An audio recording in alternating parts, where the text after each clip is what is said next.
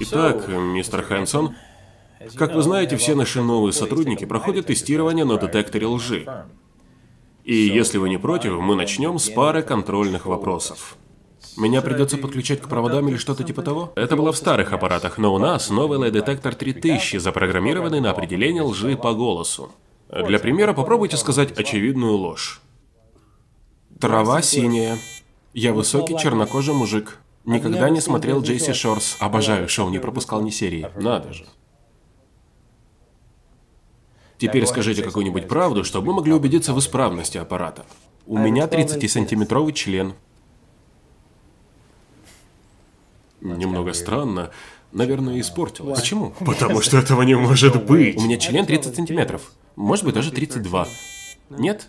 Похоже, 30. Нет, вы серьезно? А, привет, Майк. Ты проверил корпоративную почту? Да, еще вчера вечером. То есть сегодня утром. Ну хватит. Я еще не приступил. Майк, ты лучший. Ты отстой. Пойду еще поработаю. Я буду играть в Angry Birds. Назовите ваше полное имя. Дэйн Кристофер Хэнсон. Вы действительно проживаете по адресу 144 Северная Авеню? Да. Квартира 3. Ну и как оно? О, а когда я переехал сюда, я остановился в Иссайде.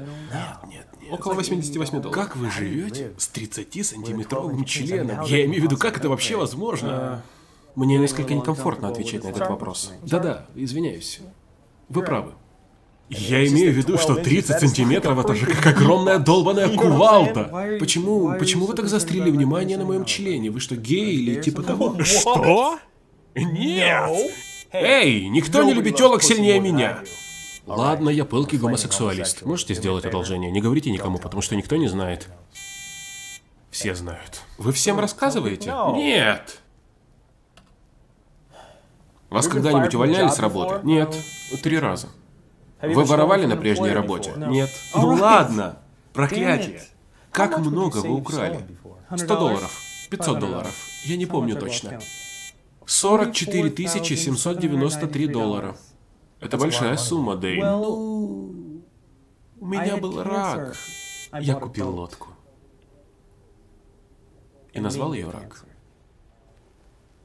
Честно говоря, это интервью проходит очень хорошо. Да?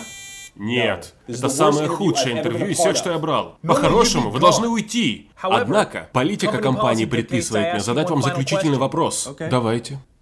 Вы бы занялись сексом с мужчиной ради рабочего места? Нет. Вы приняты. Перевел и озвучил Александр Галютин.